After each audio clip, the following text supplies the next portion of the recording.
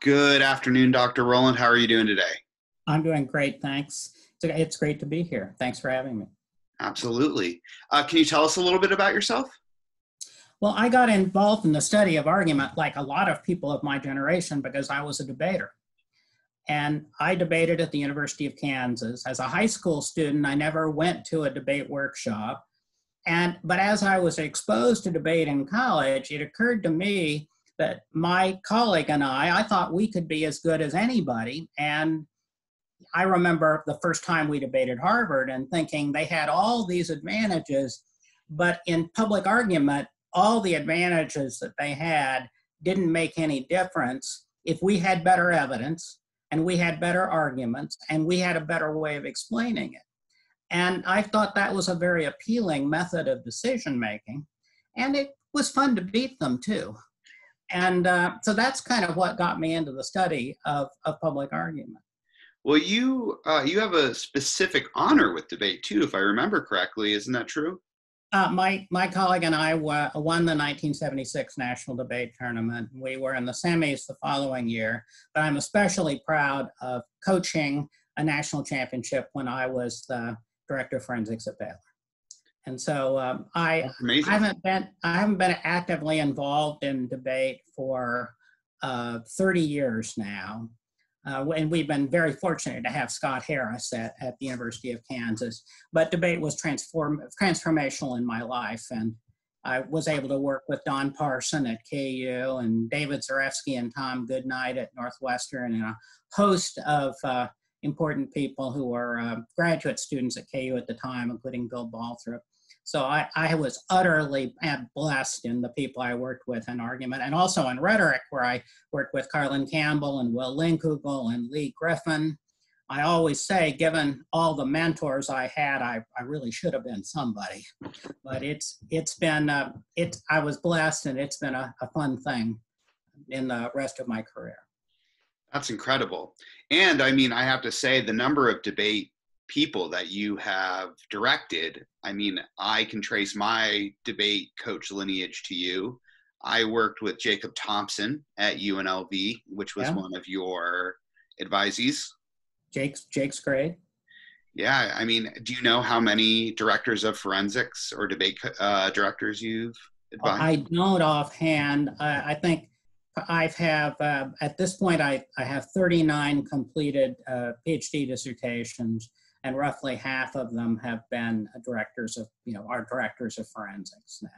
That's incredible. And, and so um, that was, well, I'm continuing in, in Don Parsons' tradition in, in that regard. That's incredible. Yeah, and some of my co-authors, Sarah uh, Partlow, who I've written Sarah, papers. Sarah, Sarah is absolutely fantastic. Wrote a fantastic dissertation. Um, had did a lot of work making the point that argument was at the core of the feminist project because you know, there were no good arguments for not treating women, uh, all genders, in an equitable way, taking into account any special needs or whatever else. And so, argument was at the core of the feminist project and still is, in, in my view. She, she did fabulous work. Yeah, she, she does great stuff. So, where did you do your uh, your doctoral work? I, I did an MA at Northwestern and then I came back to KU. So I did an MA in one year at Northwestern where I worked with Lee Griffin and, and uh, David Zarefsky especially. And then I came back to KU where I worked especially with Don Parson and Karlyn Kohrs Campbell. Okay, awesome. And um, what do you think that argumentation offers society? Uh, argumentation is, I think, is, we should think of argument as the most humane form of decision making and is essential in a democracy. If you think about a democracy, there are all sorts of rules, but the, the rules really come down to the principle that we ought to talk about it and all stakeholders ought to get their fair say, and then we ought to decide. Well, in what situation does talking about lead to good decisions and inclusive decisions that represent everybody in the society? Well, the kind of talk that leads to that kind of decision making is argument. And by argument, I mean discourse, sentences, paragraphs, books, novels, films, music videos, even tweets can make good arguments, although not, not so often in our contemporary political life. But it's a sentence or any of the other longer forms where you have evidence and reasoning in support of a claim. Now, I've really boiled down the Toulmin model to core components, and I can talk about how to analyze arguments in a moment. So, in an, an argument is both a thing, but it's also a process. And as a process, it occurs as long as all the people involved are using arguments against each other. Now, when you when you suddenly get into name calling, the kind of things that President Trump does, you've left the area of the universe of argument for insults. But in argument, you, you where everybody is involved in reason giving and evidence citing discourse, that's at the core of democracy and an effective governance for several reasons. First, in that give and take of the argumentative process, you're more likely to discover a better solution than any other method of decision making. And the reason for that is that you know one side says how about this the other side says well that won't work the first side has to account for that and in that give and take you're more likely to avoid problems than in any other method of, of decision making argument in a sense argument is at the core of science. It's at the core of history of any kind of research project is essentially a commitment to argument. So argument is pragmatic in that sense. But argument is also humane because in argument, it doesn't matter if you're rich or poor, black or white. It doesn't matter any your gender, any aspect of your ethnicity, where you're from, what country you're you are from. All that matters is that you have something sensible to say. And, and that means that power is much less important in a society which provides vehicles for everybody to be represented and to have their say. And by the way, I said earlier that that's at the core of the democratic project. And the, the primary, the most important author of American democracy, James Madison, who was the primary author of the Constitution, the Bill of Rights, and the most important of the Federalist Papers, that's a trifecta for democratic writing. But Madison, in the most famous essay ever written about American democracy, Federalist Number 10, you know, talked about, he, he said we needed a Republican remedy for the diseases most evident in a Republican form of government. You know, Federalist 10 is kind of a funny essay because most of it lays out all the reasons that democracy can't work. We've got special interests, he didn't call it that. We've got partisanship. He didn't call it that, but that's what he's talking about. Forces of unreason. Well, what was the Republican remedy? Well, the Republican remedy is the give and take of debate. And, and because Madison also said in Federalist 41 that a bad cause seldom fails to reveal itself. And what he meant was that over time in free and open public debate, better arguments have a way of winning out. Now, sometimes they don't win out nearly fast enough, as certainly occurred in our society on issues related to race and gender, when the better arguments were always on the side of inclusion. But you had entrenched interests and money and other factors there. But over time, uh, you know, uh, Barack Obama often would talk about how we were a nation in a state of becoming.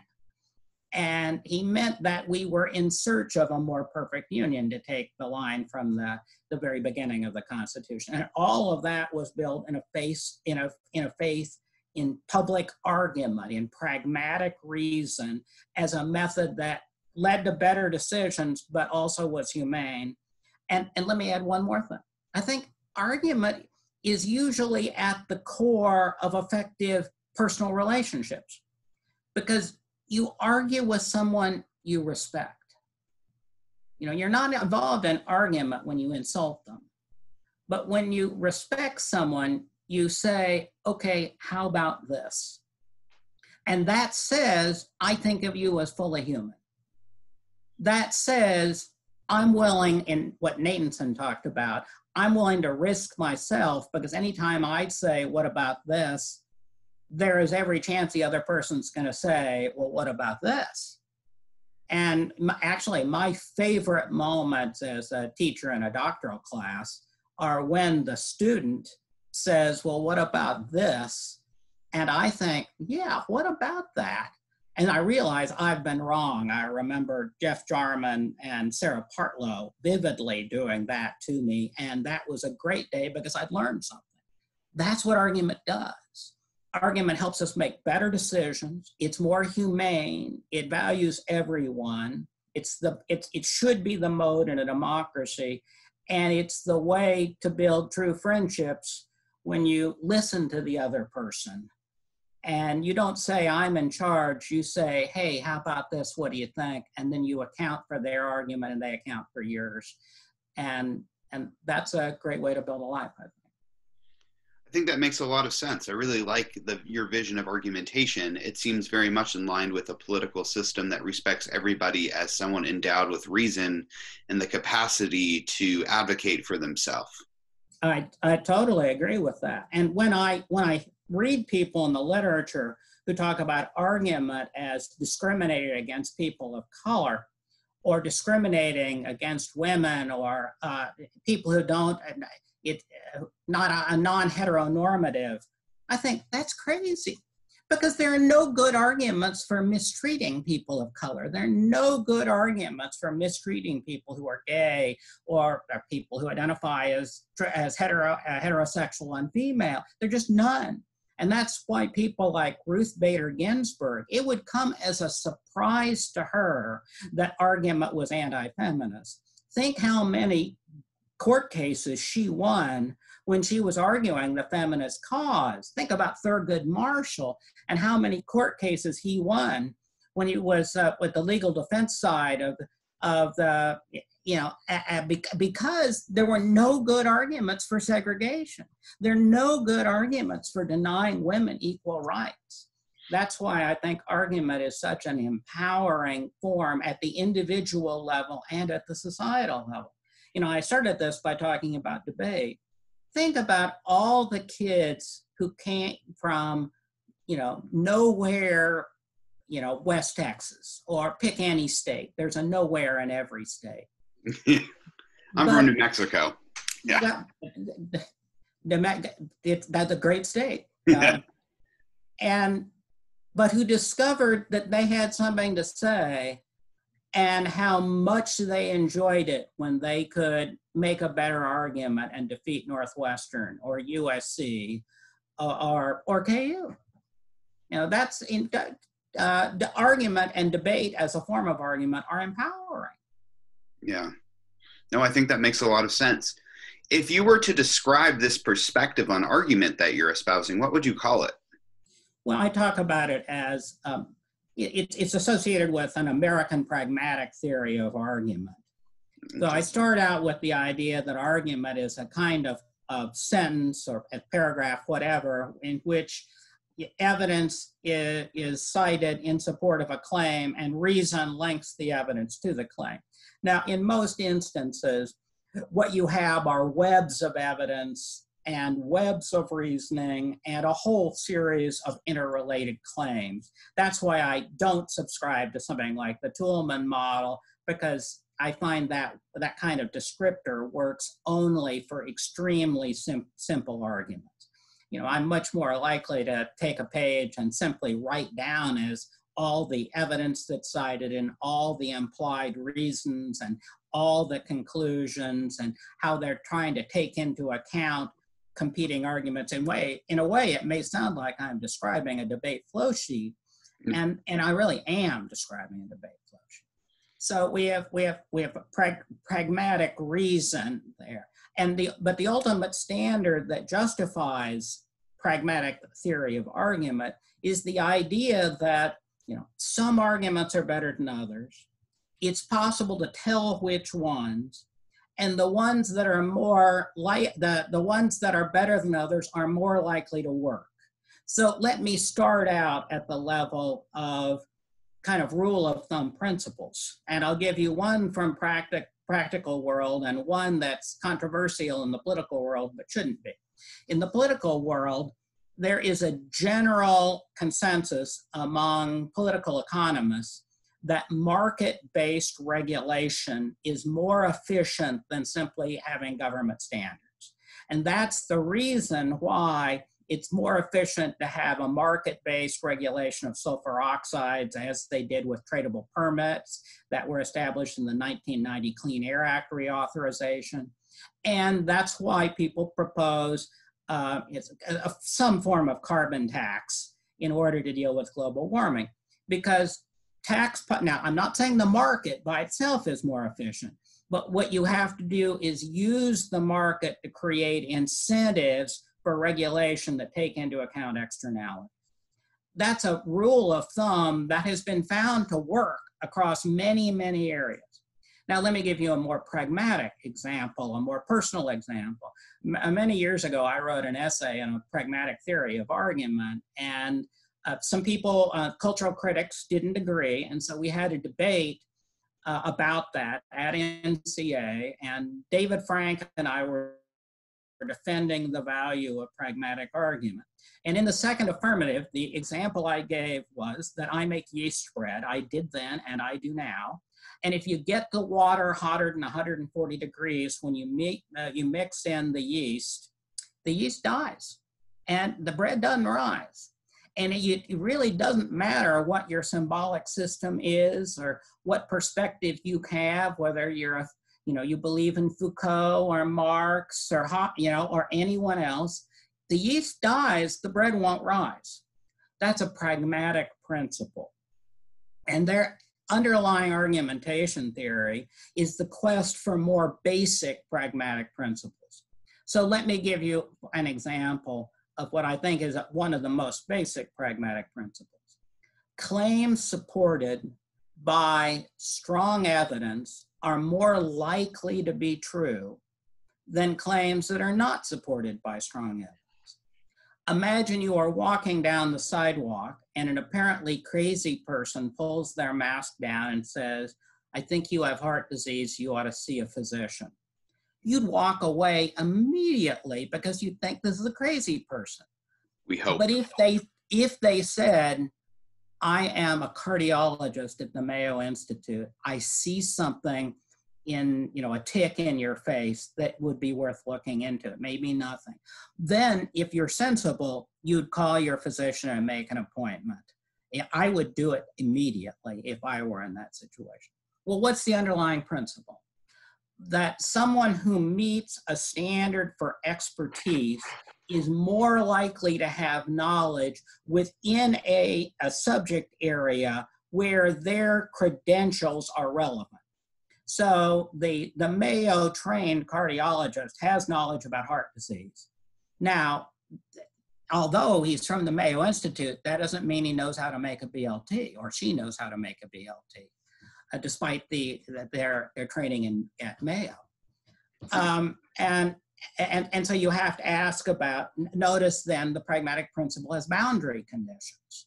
And you'd say the same thing on examples, you'd say the same things on statistics, and then you have more specific forms of those of those evidence. As when I teach, I always give the example of someone in sports that is successful 30% of the time.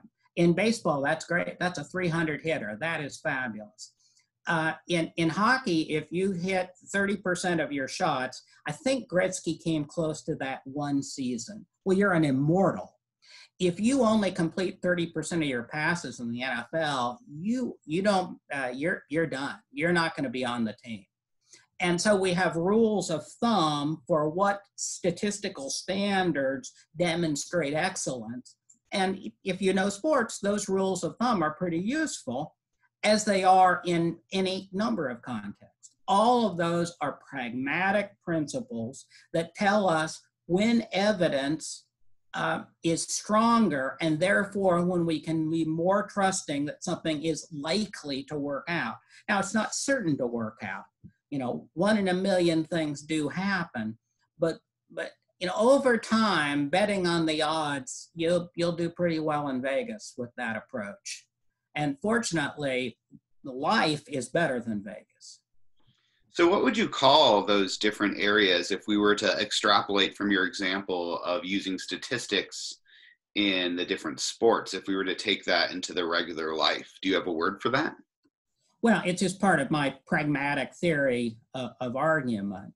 That argument is a form of, of where evidence and reasoning are cited in support of a claim, and then we develop rules of thumb, pragmatic principles at, that, are, that are at various levels of um, you know of abstraction that are useful. And uh, let me give credit to Nicholas Rescher, who has written about a, a similar sorts of ideas. He was a, a, student of logic and argument at the University of Pittsburgh. And, and he's written about that as well, that uh, pragmatism is the justification for uh, the way we make decisions. And by the way, well, let me make one other point although postmodernists critique argument, the, one of the founding statements of postmodernism, a skepticism of meta narratives, is a good example of the kind of pragmatic principle we're talking about. Now, that's at a much higher level. But the, the original postmodern critique is against the idea that the Marxists, the Stalinists, the, the fascists have the ultimate answer. It's a skepticism with meta narratives. By the way, that's very consistent with democratic pragmatism, uh, democratic small d, or these days, big D too. Uh, but that skepticism of meta narrative assumes that we can identify some arguments as more dangerous than others and that that kind of postmodern principle, by the way, I think is very consistent with Kenneth Burke's writing about entelechy. And entelechy is the idea that humans have a tendency to push any idea to the end of the line. But in pushing it to the end of the line, you tend to make it very, very dangerous. And that that Burkean idea of the entelechial principle as a sign of societal danger is another example of a pragmatic abstraction, a generalization that is useful and that, that can be justified uh, pragmatically.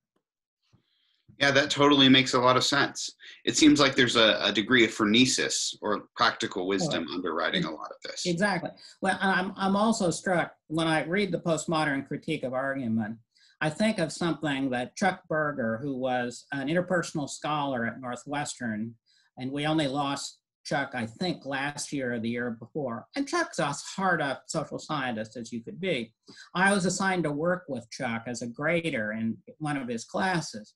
And I, uh, you know, I, being a debater, I gave him the business a little bit. Yeah. And and and uh, I talked about his worship at the font of the computer and Chuck said, Rowland, what you don't understand is that we, none of us have believed that social science or natural sciences are a way to get to absolute truth. What they're a way to do is to find evidence that bears on the way that human beings interact with each other. And some evidence is stronger than others. So what I'm what I'm really what Chuck was really saying to me is that a lot of what today postmodernists say against people like me is, is really a straw man critique of ideas that no one sensible has believed for 50 years now. No one has believed in a Cartesian worldview where we're going to identify the equations behind the world. What we've believed in is that some arguments are better than others, and it would be useful to find out which ones, and that by doing that, it would be both more humane and we would at least avoid making stupid decisions more often. Like, let me give you one more example of the pragmatic principle. No one applying the theory that I'm talking about would have supported invading Iraq in 2003. I have a, an anecdote about that.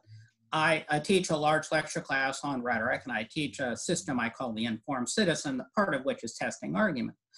and when President Bush gave his speech in Cincinnati in uh, October, I believe it was October of 2002, that like 10 days later, we critiqued it in class. And all the arguments were on one side that Bush wasn't making a very strong case.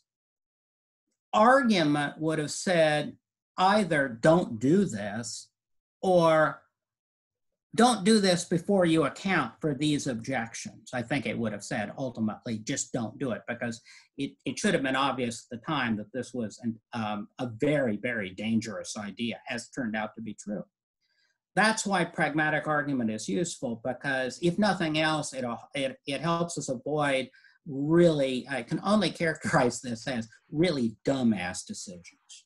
Yeah, if I can take a step back, one of the things I really hear you saying is that you're not a pragmatic argument isn't attempting to make absolute rules. Say, like, um, it, people listening to this might have heard Franz's discussion of a critical discussion, which is an absolute set of norms that are transcendent, but rather you're trying to help people make relative decisions based on the circumstances that they're in, which are based on the uh, you know relative merits of what's going on. Right. The, the closest thing to an absolute rule would be, you know, you, um, for example, in the classroom, if people want to make any argument they want to, that's fine. But I don't allow anything that's racist. I don't. I, I don't allow, you know, demeaning people based on their gender or their ethnicity, their religion. It seems to me that principles of respect for all but everybody, critiquing ideas is fine critiquing identity is not okay in a democratic society. Uh, and that's and that's a fundamental principle that comes out of respecting the humanity of all people.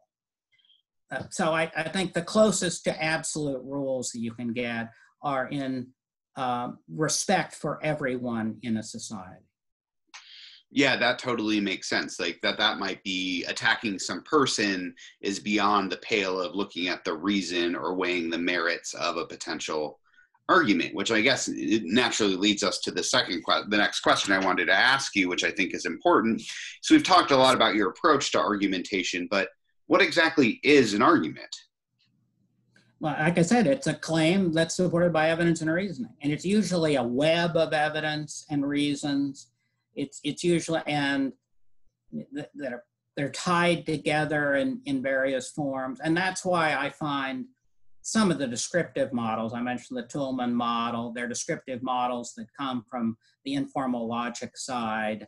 I, I don't find those very useful. To me, the best descriptive model I you know would be a, a blank page of a legal pad and I'd start writing down all the evidence and all the implied reasons and all the claims that are made. Like I said, it, maybe it's my debate training. Mm-hmm. Um, and, and by the way, I can't imagine how people who flow on uh, computers, I they, it must be a gift from the gods as far as I'm concerned. Uh, but um, I, I, I try to write down everything they say and then think it through. So if I'm hearing you right, an argument if we're understanding it as a product because i like the distinction you introduced earlier between a product and a process could have multiple reasons supporting it. Oh, it yeah. could have lots of evidence supporting it. And it might so could you give us an example of one of these webs that you might be thinking about?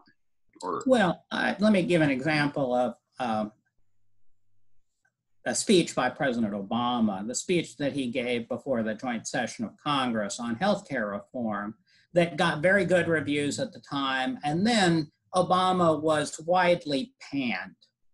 Um, you know, and he was accused of being professorial. He was accused of being dull.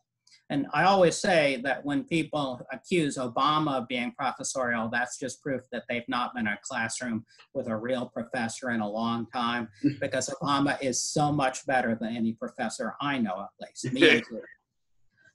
But Obama had made a really sophisticated argument for the need for healthcare reform, and then a series of refutative arguments where he accounted for the objections. And people didn't like those arguments. But over time, it turned out what he said actually worked. And the Affordable Care Act was not very popular until the Trump administration, when they worked very, very hard to get rid of it. And then people real started to realize that the Affordable Care Act protected them against pre-existing condition. That people on Medicaid suddenly in states, oh, I'm I'm that's where I get my health insurance. They didn't realize they thought the Affordable Care Act and Obamacare were two different things. And what happened was that the strong arguments that President Obama made became, to take an idea from Perelman, they became present. They had presence in people's lives. And now the Affordable Care Act has uh, pretty strong support.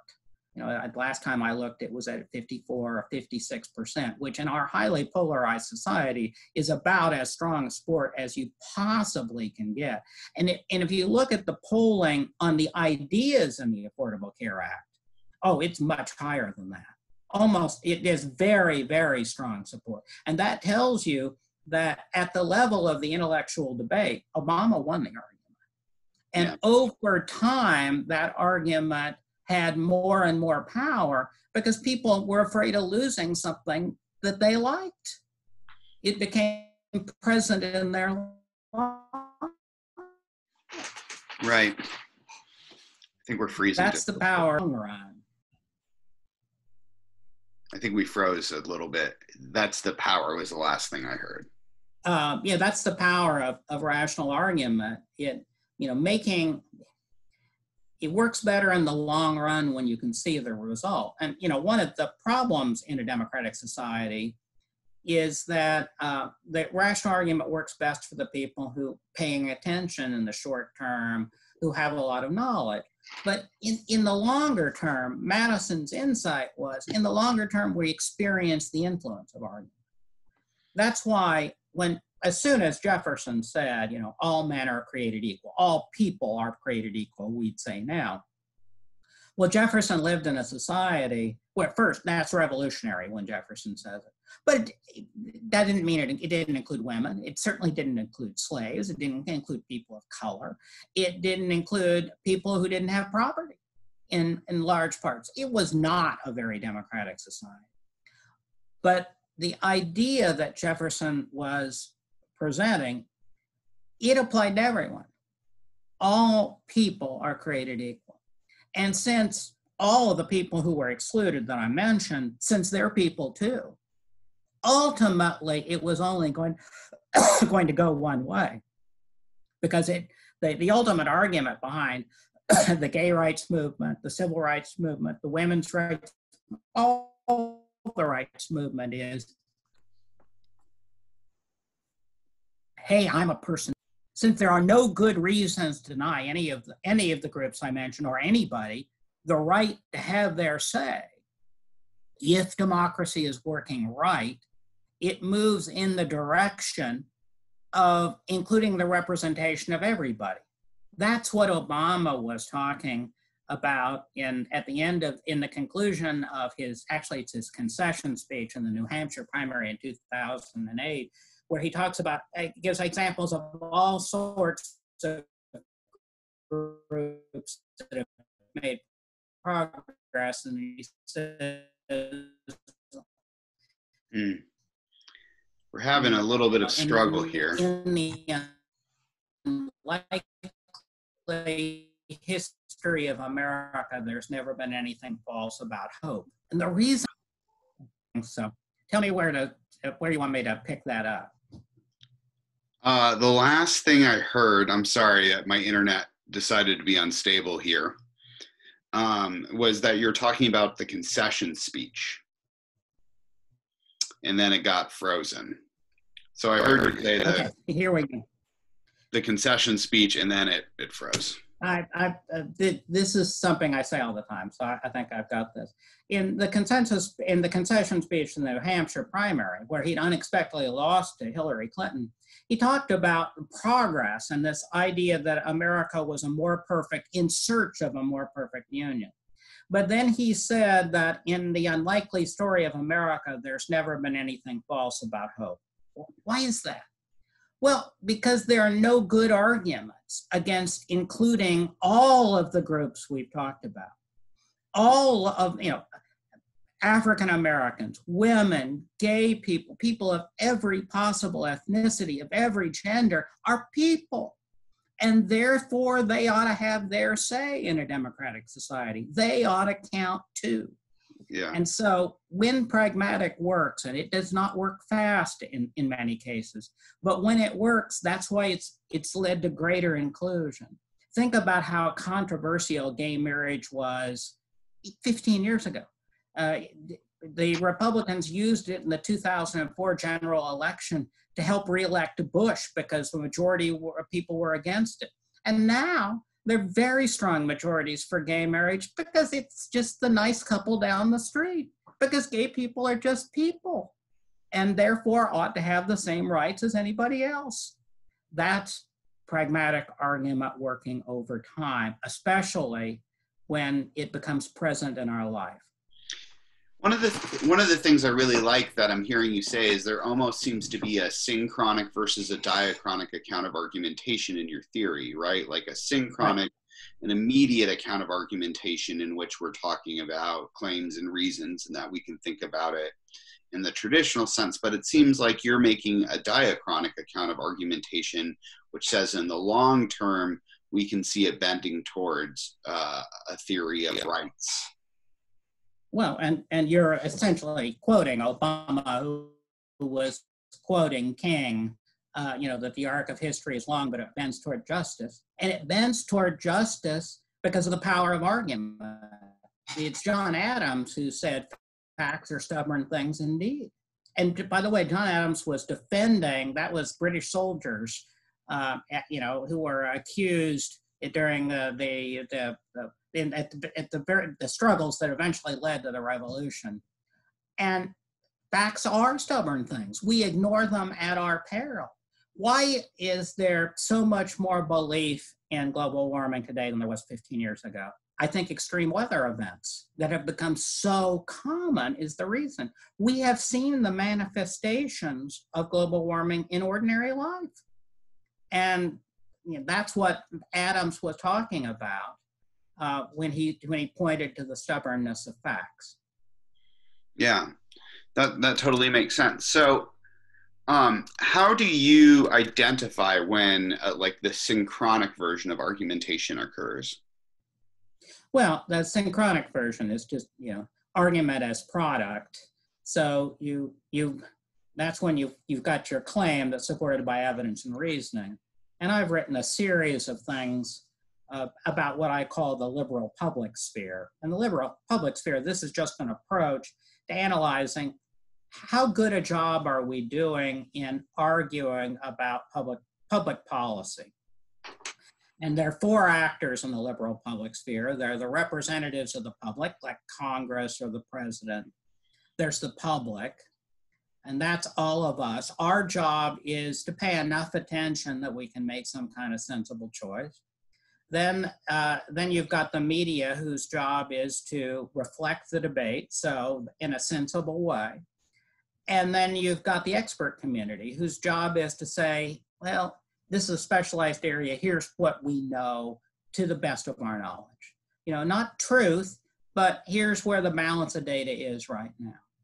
And I've, I've done a series of, of studies of how the liberal public sphere is doing. And the, the, short answer is often not that well, especially the, the public is so easily distracted and you know by and there's so much bias and prejudice out there. A good example is the the furor over undocumented immigrants that president trump has used again and again to produce support. Well the truth is that uh, und- undocumented immigrants do not commit massive amounts of crime. They actually commit fewer crimes per person than native born citizens. In, in a sense, you dilute the crime rate with more undocumented immigrants. They work harder than native born Americans. That's, that's not hard to observe. And many of my, you know, many of my undergraduate students, um, it, it, it not, it's not true. Uh, and and and so that tells you that and, and by the way why why does it resonate if it's not true? Well it, it it draws on societal prejudices but it resonates most strongly in places where there aren't many undocumented immigrants. In the on the coasts and in areas where there are many uh, immigrants, that stuff doesn't fly because they've got neighbors, they've got friends, they know how hard people work. You go to Western Kansas where you have undocumented immigrants working in meatpacking plants, and people don't look down on them at all because they're their neighbors. They know they work hard. And, and so the, the point is that despite the flaws in what you were talking about, argument as product or the synchronic effect, over time, as, as Adam said, that was the Boston Massacre, he was defending the British soldiers. Um, facts still are stubborn things, although I will say they're a little less stubborn in Trump's America than they have ever been before. Yeah. How do you go about analyzing arguments? Well, you know, um, I, I gather representative texts, I take notes, um, I, I think about why things resonate with real audience because I'm concerned not just with the words on the page, I'm concerned with how the argument is functioning in a democracy. That's the, the liberal public sphere studies. This only works for us at the Alta conference or at the Amsterdam conference. You know, that's not good enough. We need it to work better in the larger society. But that's um, that's one of the reasons I've been interested in studying presidential debates because I think there may be ways to influence format to make them um, more uh, useful. And so, um, in, a, in a way, I guess I'm saying I've, I've taken the approach of a judge in a debate and I've applied it in, as, a, as a, a scholar and I I try to I try to balance the arguments on all the sides. I I think it's important to sample widely the argument. Now that's a little bit difficult because of the echo chamber of the crazy right. Let me just give you an example of that. In the Reagan years, the Heritage Foundation was a real think tank. The Heritage Foundation is not a think tank anymore. It's a, primarily a propaganda outfit. But there are, the American Enterprise Institute is still a conservative think tank. And if I'm, if I'm analyzing a debate about some public policy issue, sure, I want to look at the center left places like Brookings and, uh, and other liberal think tanks. But, but I know that the AEI is going to give me a small government, market oriented conservative perspective, and I'd want to look at them. But that's not what I personally think very often or, or really ever as a citizen. But as a scholar, you know, my theory is you got to take into account the, you know, the, the principal arguments on all the sides. Just like as a debate coach, I'd say, well, we may not agree with this, but let's go cut those cards so we know what they say and we can figure out how to answer them. That makes a lot of sense. So, you, what one of the things I'm hearing you say is that you want to understand and situate when you're analyzing it within the larger discursive or political milieu, and that includes looking at both sides of the controversy. That's right. That's right. But I've I've never seen a time when the balance of argument was so imbalanced you know on many on many points there really just is no there's only the pragmatic liberal side you know paul krugman the nobel prize winning economist and and new york times columnist says that reality leans center left mm-hmm. what he really means is that if you look at the balance of arguments that are out there on a host of issues in politics and economics really almost all the arguments are on what we would call the center left. Think, for example, about income inequality. What are the good arguments for the current extreme level of in income inequality? I am unaware of any. They haven't led to more productivity. It hasn't led to more economic growth. It's not led to more income for all. You know, when, when Reagan said, let's cut the top uh, growth rate, that will lift all boats well, you know, the top marginal rate was 70% then. There was an argument. Now, it didn't work, but there was an argument. Mm-hmm. But after it didn't work for Reagan, that was 1981 when that bill was passed. After it didn't work for Reagan, there haven't been any good arguments for tax cuts disproportionately focused on the high income bracket since then. That's 39 years ago. But how many times have conservatives argued we need to cut rates on the rich again? Well, you know, the, the value of my approach is, you know, when you look at the when you look at the give and take, you realize there just aren't good arguments on that side. That's why in the George W. Bush and the Trump tax cuts, their advocacy, they basically claimed that it would help the middle class, despite the fact that their even their own data didn't say that. You know, that's why it's important to take. You got to focus on the details. Well, so one of the things that I'm hearing you say is good argument a lot. And I was wondering if you can unpack that a little bit. What constitutes a good argument? Good arguments are ones that are pragmatically useful. Yeah, and that so that this this that's the standard that leads so I was talking about the tax cuts. Yeah. When uh, when the the tax cuts were proposed by the Trump administration, they claimed that it was going to unleash all the, the, I'm talking about the corporate tax cuts for illustrative purposes, that it was going to unleash all this investment and productive growth. Paul Krugman and other liberals said, in the past, first, that hasn't happened. Second, absent increases would invest in more factories, et cetera, they're satisfying the demand as it is.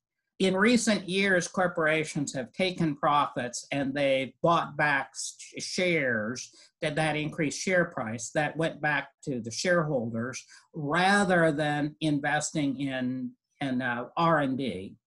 And he said, based on history and their own incentives, this is not going to produce increases in productivity. It's not going to produce increases in jobs and it's not going to trickle down to the, the, even the upper middle class. There was considerable history supporting what Krugman said. And in fact, it, is, it came to pass. In that the Trump tax cuts did not produce any of the things that the Trump administration predicted. In fact, the, the Trump economy was simply a straight line extension of the Obama economy, despite vastly more stimulus that Trump had than, uh, than Obama could get in 2009 when we desperately needed stimulus. But the, the limits of our political system led to um, stimulus that was way too far. So pragmatic arguments are ones that turn out to be useful in the long term, that, that that predict things that actually happen. You know, so, you know, to put it in sports terms, and I've been a Kansas City Chiefs fan for 50 years, more than 50 years. I remember the first Super Bowl one, that's uh, 50, 55 years ago, and Super Bowl four and 54 were, were terrific. Those are the two we won, last year included. Well, I remember all the quarterbacks in, in, you know in in the interim. I remember Steve DeBerg. When Steve DeBerg uh, goes back to pass and Patrick Mahomes goes back to pass, the chance of a touchdown is infinitely higher with Patrick Mahomes, based on his statistics, you know, his his receivers, etc. Pragmatic argument was what led um, the Chiefs to draft Mahomes, they looked at a lot of tape and they said, this guy's a little raw, but my God, he can make plays that no one else can make. And to this point, and and may the gods of injury stay far away. To this point, their pragmatic argument has certainly turned out to be true. Pragmatic yeah, well, arguments are useful. That's that's what makes them good, and they're also humane. That also makes them good the pragmatic argument is probably what got him paid. You see that he just signed the largest half, half, half, a billion dollars over the next 12 years. Yeah, he's I think a lifelong chief now. Got a good quarterback. May that may that please be true. I'm I'm long suffering. I mean, I remember the Chiefs. You know, I the last time in in in the 55 years I've been a Chiefs fan, we had Len Dawson at the beginning and we had three years of a fading Joe Montana. And now we've had two years of Patrick Mahomes. But I'm talking about that's about oh, eight, ten. That's about a quarter of the time have we had a really good quarterback, less than a quarter of the time. That means 40 some years of, oh no, not another interception now. Oh, the AFC West. Uh, that, in, in, in, the old days, the AFC West, the, and again, a pragmatic reason in that period was our great defense. The, uh, the, the, the early Chiefs, the 66 to 72 Chiefs, um, five starters on the defense are in the Pro Football Hall of Fame. They wow. were they were pretty good pragmatic arguers too. Yeah. Oh, let me say actually let me say something about the Chiefs that's actually relevant. Yeah. One of the things that Hank Stram did, Hank Stram looked at pro football and said, there are an awful lot of good black athletes, but the NFL is not using them because they have, in essence, a quota. Well, that's dumb. The, a black athlete who's a really good player ought to play in the league. And they're just people like us. And so the Chiefs had a black scout the, one of the first teams in maybe the first team in, in pro football too. And they and they went to historically black colleges, and many of the greatest chiefs uh, were uh, are, are they're still alive, black Americans, and the chiefs said this is right, but and they also said these are great players. Uh, and Lamar Hunt would take one of the famous, the old black chiefs to restaurants and integrate the restaurant because Lamar Hunt was a, the equivalent of a billionaire and they wouldn't turn him down. And, and that was a pragmatic argument that was also an argument for justice. And that's, that's the advantage of believing in pragmatic reason is you're arguing for things that are sensible, that are likely to work out, but you're also arguing for humanity and justice at the same time. Um, that's, that's pretty cool. Yeah. I'm, I'm, an, I'm an old romantic liberal. Yeah, no, there ain't nothing wrong with having a little bit of hope in the system. Ain't, ain't that the truth? So, can you give a contemporary example? I, I, I, I'm really interested in our contemporary age. It's easy to look and say, right, it's easy to value reason and then turn around and see our moment where I'm willing to bet. In fact, I have a well placed bet, and this is not going to make my content very evergreen, that the president is not going to debate this year. Um, that there is not a lot of value in reason because people are unwilling to engage one another in the prospect of reason giving. Well, I think you're you're certainly right that in, in 2016 the debate was not very productive because Trump didn't treat it as a debate. He tried he treated it as a chance to give a rally speech. Um, but I would, I think that uh, as the effects of Trump policies have become present in people's life, and I'm going back to, to Perelman, they've become extraordinarily unpopular. So, for example, he sold us, the, you know, the fear of the caravans of undocumented immigrants. It was always garbage. But when we saw children being se- separated from their parents in something that is just unvarnished evil. Uh, that was an extremely unpopular policy. When he shut down the government for the wall, and it turned out we needed a government, that was a very unpopular policy. And I think the claim that we aren't, he actually has a point about how we're number one in dealing with the, the COVID virus. We have done the worst job of any developed nation in the world. You know, we may not be quite as bad as Brazil. This is not something to be proud of.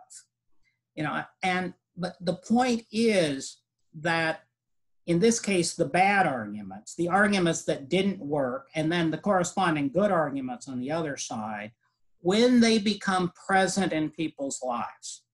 At that point, public opinion does begin to change. Now, who knows what will happen in the next months?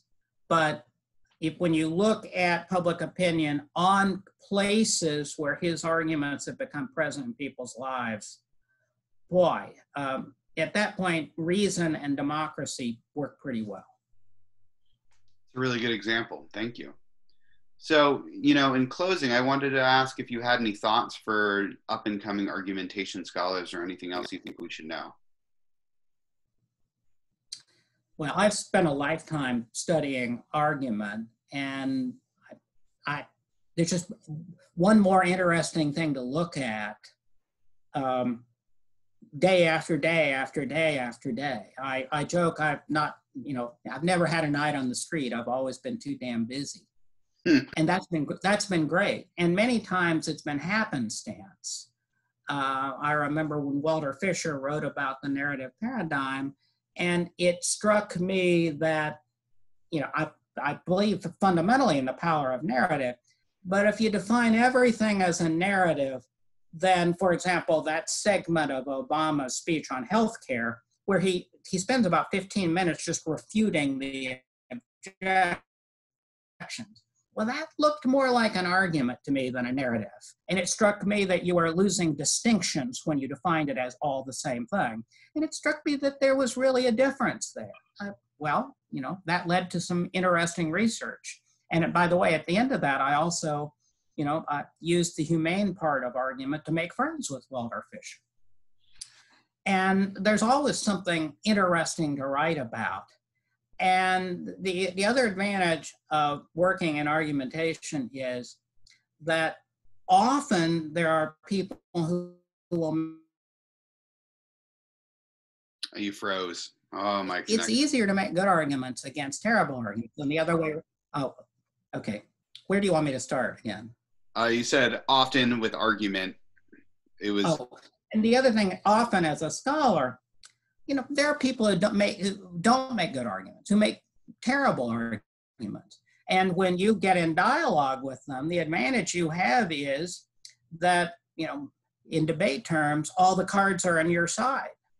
You know, when when I said in the I mentioned earlier the debate that David Frank and I were in, when I pointed out that uh, the if you get the water hotter than 140 degrees, the yeast dies, the bread won't rise you know, they didn't know quite what to say. And then they said that temperature was a symbolic construction, to which I observed that they were going to have pretty flat bread if they thought that way. The, you know, argument is uh, writing about argument and thinking about argument has been engaging, it's been fun, but it also has been rewarding because it turns out some arguments are better than others. And that really gives you a way to build a career. And and you're always on the side of humanity because you're always defending justice and inclusion and diversity because everybody ought to count. And I've, I've believed in that all my life. That is an excellent sentiment. Thank you so much for your time today, Dr. Rowland. We really appreciate it. My pleasure. It's been wonderful to talk to you. Have a good day. Yeah, you too. Cheers. Okay. Bye.